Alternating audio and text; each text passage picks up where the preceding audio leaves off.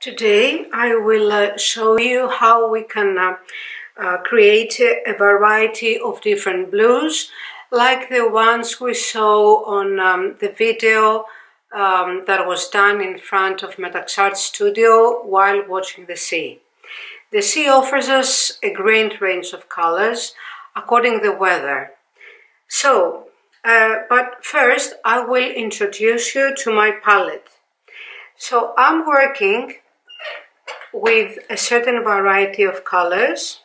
Here I have white and then I have three yellows, three reds and usually I work with three blues but today I will add an extra one because I want to make a lot of blue colors. So yellow, this is a lemon yellow, this is um, a yolk yellow that um, uh, usually brands say it, um, call it um, deep cadmium. This is an ochre. And here I have a vermilion red. Then I have a scarlet red. It's a very nice pure red a Carmina red,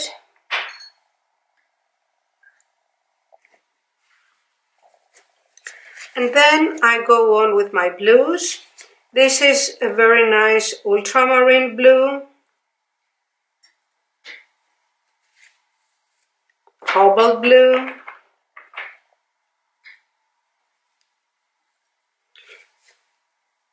This is the extra blue that I use and it's the cerulean blue.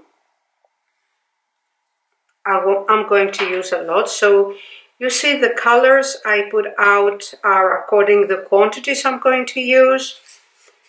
And here is some Prussian blue. I will also take some more white outside. My, this is a very um, good idea to use your colors.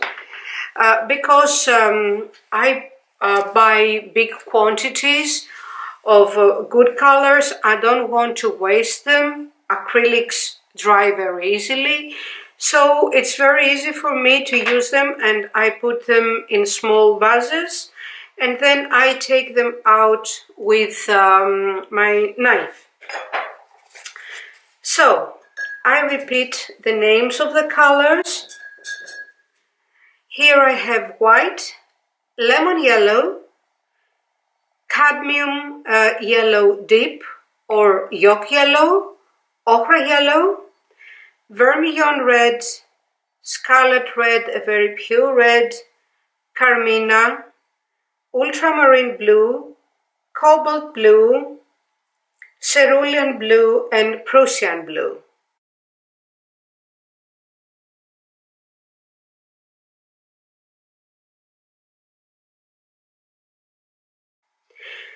So with these colors, we're going to create a big variety of blues. Usually when you want to make a combination of colors, um, you should always start from the bright color and then add the darker color. For example, when you want to make a green, you start with the yellow and then you add the blue.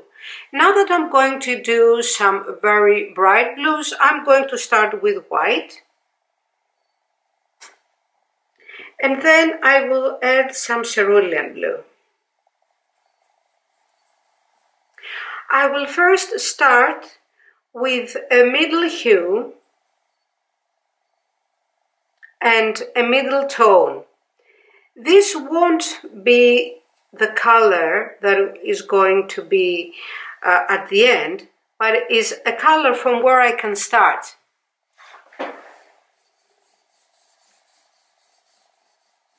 So you see, it's a middle hue and also a middle tone. It's not very bright, it's not very dark. It's a, a value in between. Now, if I want to go on and make a big contrast in this color, what I can do is go and um, I can go and take uh, a darker uh, blue. Here is a very um, uh, important notice that I have to tell you that when colors uh, they have a value because they are compared with something else. So this is a middle hue. So if I put a darker hue next to it, this hue becomes bright. If I want to make an even darker hue, either I can add some Prussian blue and make a darker blue,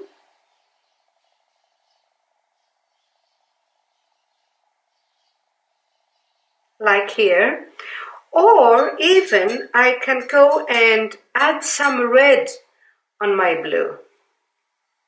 So I can take an ultramarine blue, add some little red, you see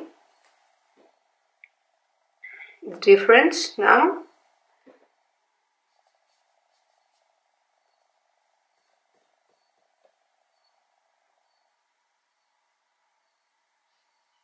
So now you can see how um, the colors started to be different. I usually avoid to put the colors on my painting as they come directly out from the tube.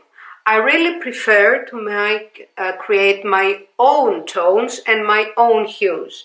But just I'm going to leave this ultramarine here just to show it. I won't make the painting today. I just want you to have a look and see how you can create different kind of blues. So let me repeat. Here I have cerulean blue and white. Here I have a plain ultramarine blue. Here is an ultramarine with a little bit of red, and here is ultramarine with Prussian blue. So if I will go on and add this kind of colors, the purplish colors, purplish colors, I mean colors that they are really a little bit more warm than a blue. You see here? The blue, the cerulean blue, this one with white, looks quite greenish, quite yellowish. It's not necessary to add to it uh, more uh, yellow. But we can go on and then take some cerulean blue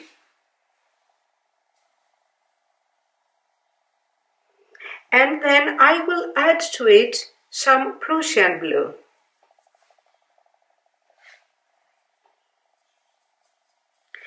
And in this way, I'm going to create a middle greenish blue.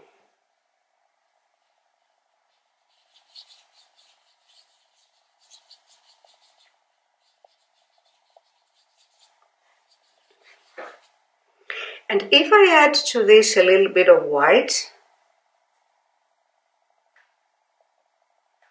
then I have a brighter tone.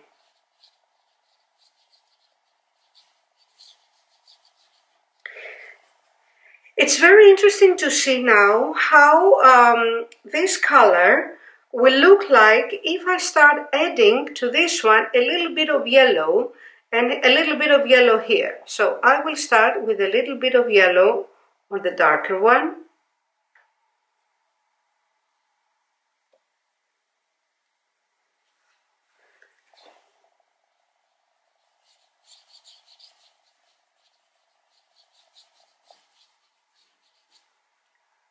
the tone is really dark but compared to this it becomes more bright and more blue. You see, this green here and this green here are the same. So what is very important is to see that this um, greenish blue here looks more green than this one. And this is because it's compared with this purplish blue. So if I go and I add some white,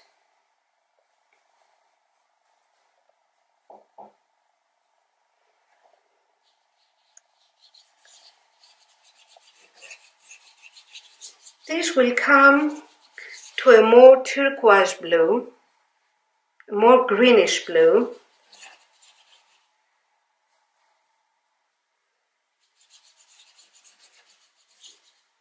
But if I take this color, I create some more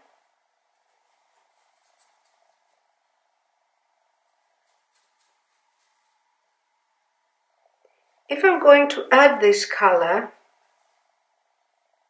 next to a purple color, it's going to be very, very different than this one. So what I wanted to say is that this color is the same with this color. I repeat it. But here it looks different because it's, it is compared to different colors. And here it also looks different because it's compared with um, other colors a little bit more dark. So the contrast is bigger here than here. Okay. And then um, we can go and see what um, ultramarine looks like.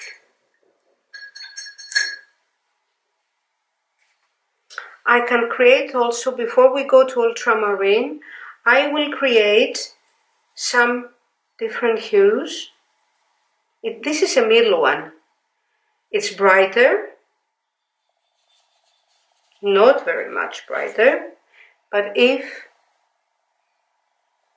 I add some more white and a little bit of more yellow,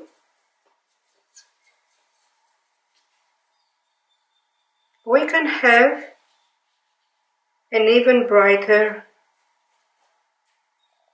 hue.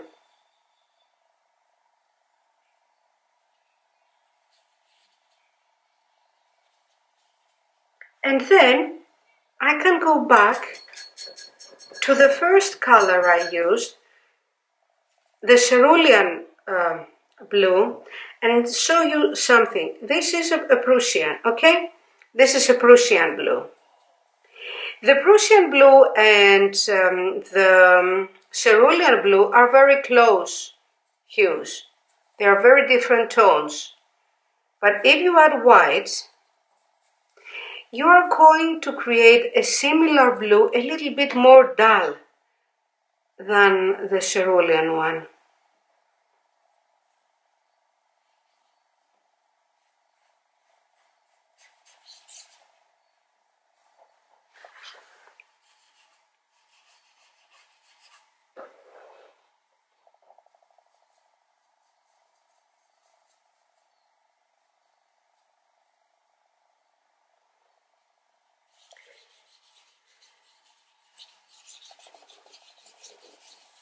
So what is important to see is how different these colors looks like and how they can help us create so many different blues. So I go back to my cerulean.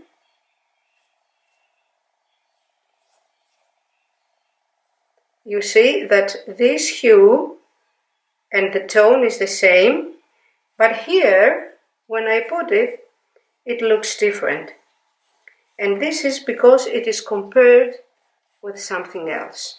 So this doesn't look the same with this, even if it is exactly the same.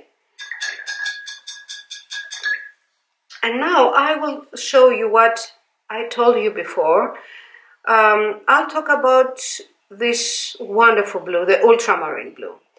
Ultramarine blue is a very, um, it's quite a purplish blue. So it has a very uh, unique characteristic. So when you add white,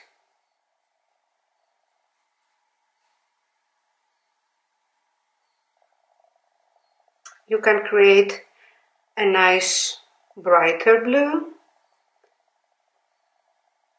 That when you put it in between the very yellowish blues, it looks more warm, like here.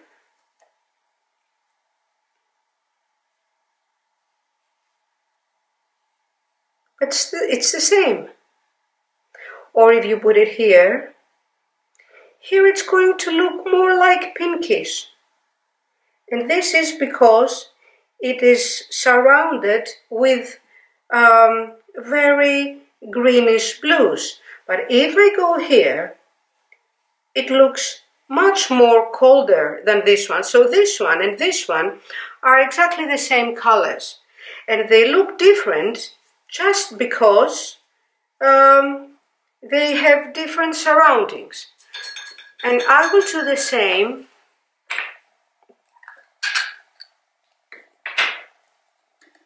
with some pink. And the pink I will create, I will use white and a little bit of um, Carmina red.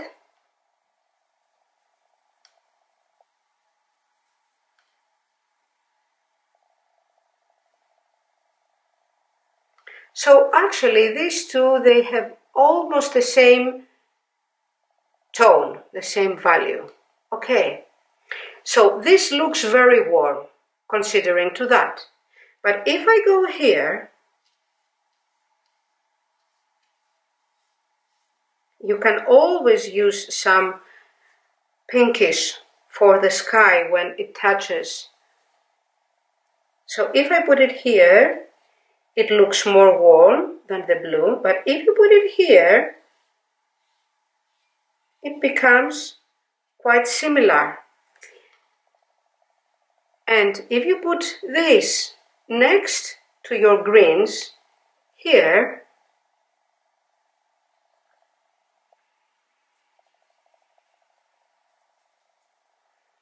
it's going to look quite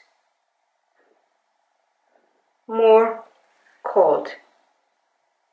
So it's according what colors you have you are surrounding um, your paintings. Look, exam for example, this here and this here.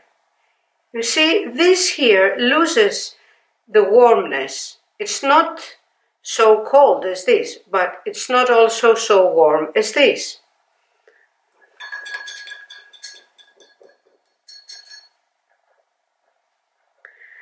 And if you're going to put some Prussian blue, a dark Prussian blue,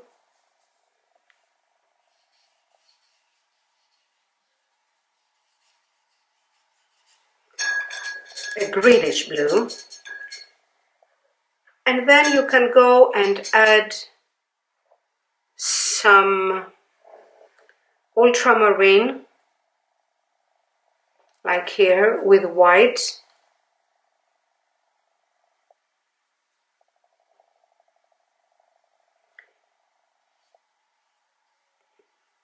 you can give a very very nice difference between and very nice variety between the colors.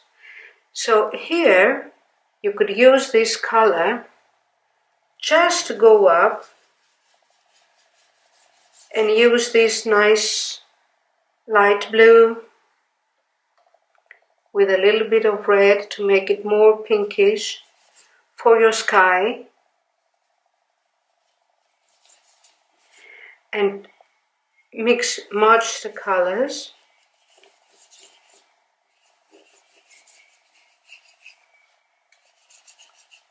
and leave the warmer ones for the area that touches the horizon with the sea. So you see, I'm not creating the, um, the landscape, but I'm just trying to create you big varieties of the colors. Another color that we didn't talk about is cobalt blue. I didn't use cobalt blue in purpose, so you can see the difference of cobalt blue. Cobalt blue is a more gentle blue and it can create um, a lot of nice um, gray blues.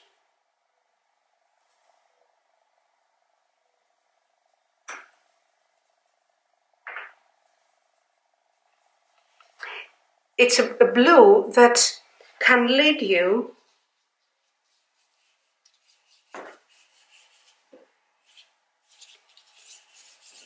in, in different ways according where you want to go.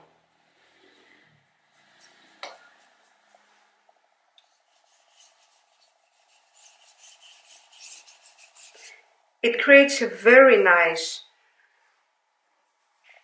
gray blue.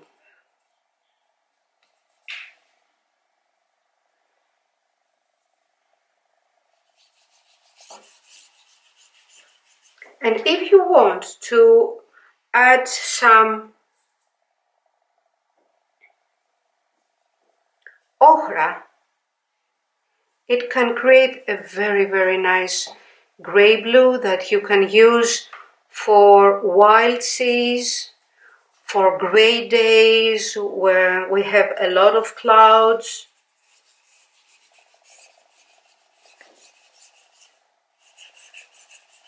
You see how grayish this blue looks according the other colors that we created and it is just cobalt blue with a little bit of ochra and a little bit of white that gave us this. And if you want you can add a little bit more ochra and it will start giving you the feeling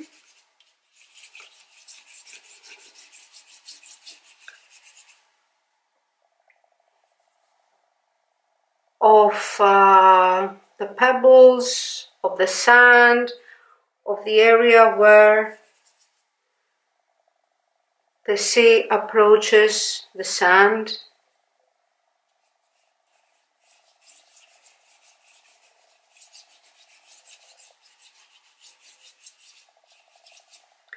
So you see how uh, you can create a big variety uh, just using this basic range of colors.